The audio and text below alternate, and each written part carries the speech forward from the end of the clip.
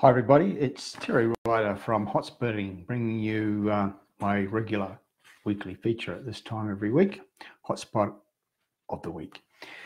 At the weekend, I was in uh, Canberra and then Sydney, speaking at, uh, firstly at a, a, seminar in Canberra and then on Sunday at the Property Buy Expo at the International Convention Centre at Darling Harbour in Sydney.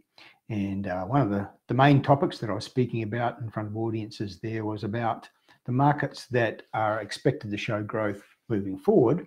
Now that the two biggest city markets, uh, Sydney and Melbourne, are inevitably winding down after their recent booms. One of the uh, topic cities was, was Brisbane. Brisbane has been predicted by many to have um, shown better growth by now. It hasn't really done a great deal. And one of the underlying reasons why Brisbane hasn't done what Sydney and, and Melbourne have done is that the underlying state economy has been much, much weaker. Uh, Sydney's uh, property boom evolved out of a very strong state economy, and the same thing happened in Melbourne, where the, the very, very strong Victorian economy and very strong population growth helped to precipitate the upcycle in the real estate market there. Meanwhile, the underlying economy um, for Brisbane, the Queensland state economy has been very mediocre, ranking very low on the, the list of the eight states and territories, ranking number six at the moment. There are signs of improvement um, in the state economy as the resources sector comes back and tourism is strong. Um, we're hoping that the infrastructure spending that was promised in the recent state budget, $50 billion over the next four years, will happen because that's a major catalyst. That's one of the big things that drove uh, the improvement in the economy in Sydney, and out of that came the, the real estate boom. So we're hoping that'll happen. There's also evidence that the population growth figures are starting to favour southeast Queensland again. So there's some momentum building for Brisbane, and and vacancies are also coming down. And uh, so there's there's hope that all of that plus the the affordability comparison between Brisbane and the two biggest cities and the yield comparison as well will induce um, greater level of buying from, uh, particularly from interstate investors. Now, if and when that happens, one of the areas that I expect to do pretty well is the Redcliffe Peninsula up in the north of Brisbane. About three months ago, um, at this time, doing uh, my week, weekly feature hotspot of the week, I focused on the Moreton Bay local government area. Well, Redcliffe Peninsula is actually part of that. Well, we have a, a separate report on the Redcliffe Peninsula because it's a little niche market um, all of its own and deserves its own report, we think. And partly that's because it is a peninsula within the local government area of Moreton Bay region. And uh, it's a market that um, that's evolving over time. Uh, traditionally, the Redcliffe Peninsula, I guess, has been a little bit stigmatized as being down market. Uh, sea change for battlers, perhaps, has been part of the um, the moniker attached to it. But it's certainly in more recent times, um, it's evolved as a market. It's been increasingly gentrified that area. And what it presents now is um, a very appealing, affordable uh, waterside lifestyle, uh, which has taken on greater appeal since the completion of rail links linking that part of Brisbane to the centre of to the centre of Brisbane. Uh, the Redcliffe Peninsula for something like 50 years was promised rail links that were never delivered. But finally, recently, they have been delivered. So now people who live on the Redcliffe Peninsula can jump on a train and get to the centre of Brisbane if that's where they want to go. Not everybody lives there needs to go there because um, most of the people who live in this part of Brisbane don't work in the Brisbane CBD. They they work in jobs nodes locally or a little bit closer in the Brisbane CBD. But that option now exists. So that's been a game changer for this part of um, the northern suburbs of Brisbane. So the Moreton Bay local government area is one of the, it's the third largest local government area in Australia, apparently. Uh, that's partly because uh, Brisbane's a little bit unusual. The whole Brisbane metropolitan area is divided into just five local government areas, and Moreton Bay region is the one that covers the um, mostly affordable suburbs on the, the northern outer fringes of the Brisbane metropolitan area.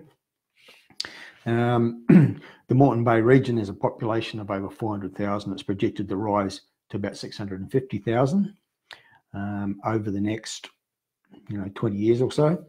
Um, the Redcliffe area itself has a population of about 60,000.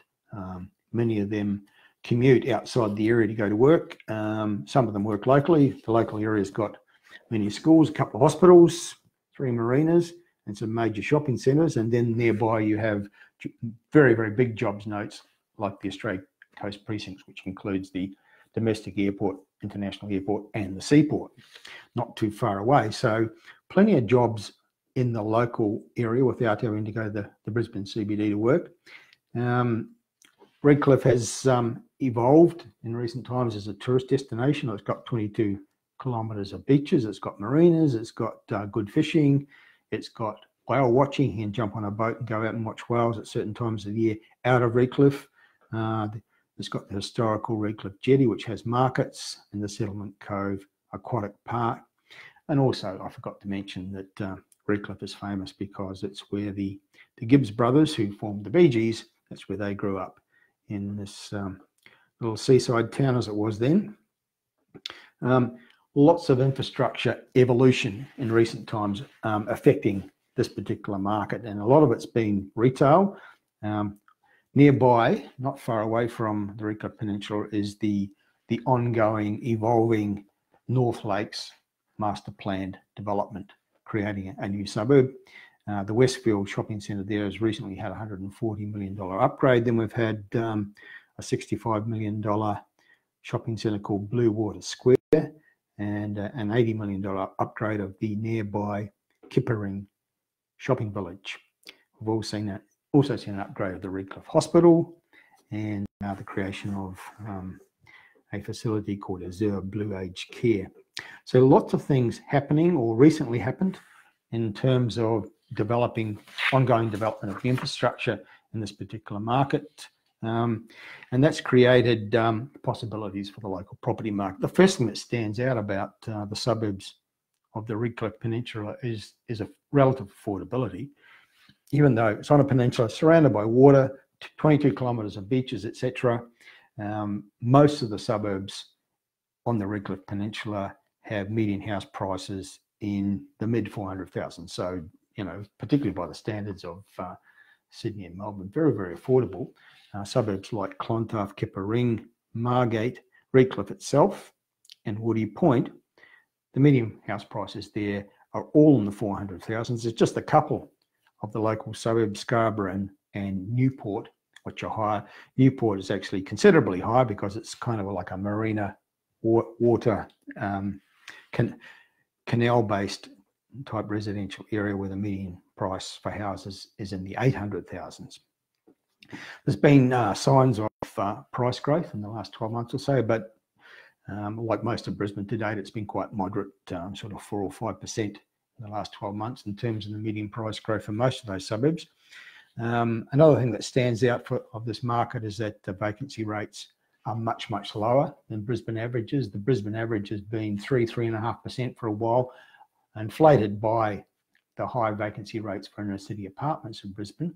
But this part of the Brisbane market, uh, the vacancy rates are uh, one, the postcodes is just 1.5%. Another one of the postcodes in the Redcliffe Peninsula area is 2%. So vacancy is low, uh, rental market quite strong, and most of the suburbs on the Redcliffe Peninsula have uh, median rental yields sort of four and a half, you know, to 4.7%. So pretty good rental yields. Um, and relatively affordable prices. Then there's quite a substantial unit market as well. This sort of seaside environment. Um, there's been quite a bit of development in recent times. The suburb of Redcliffe itself, 160 apartment sales in the last 12 months at a, a median price of 415,000. So again, very affordable, and the median rental yield for Redcliffe apartments is 4.6%. Um, then you've got Scarborough, um, a little bit more expensive, but the median price uh, in still below 500,000 for apartments there. Uh, Margate, excuse me, 410,000. Woody Point, the median price for apartments, 435,000. So there's a quite an attractive level of affordability given that this is a, a peninsula uh, seaside environment. uh, with the added bonus of the, the new rail links, which opened a couple of years ago and uh, have been considered a bit of a game changer for this market. It's certainly uh, noticeable that there's been an uplift in um, um, the creation of both residential and commercial facilities in this area since the new rail link opened. And uh, we've seen you know, an ongoing development or renovations creating cafes and restaurants and bars and weekend markets and various residential projects because the uh, the new rail link was considered to be a game changer for this area. Um, Stockland is, is very active in this area um, and it's got a plan for a, a $590 million project on the peninsula, um, including homes that will have uh, waterfront access. Um, as I mentioned, just down the road, you've got the North Lakes Master Plan Community, which is a work in progress that's been going on for many, many years and continues to evolve. Um, big retail offering there, as well as uh, private hospital, golf course, all those sorts of things. So within striking distance of the Rika Peninsula, lots of facilities and amenities within the uh, North North Lakes development. And that all helps uh, lift the appeal of uh, what's available for people who live on the peninsula. Um, another thing that's coming up for that general area is a, a new university campus, the Moreton Bay Regional University Precinct, which is approved. They've got the site. They're soon going to start building it so we understand. And over the next, say, 10 or 12 years, it will gradually evolve and expand until we get to the point within about 12 years. So they say there'll be about 10,000 students going there. So that's going to bring a lot of rental demand into the area.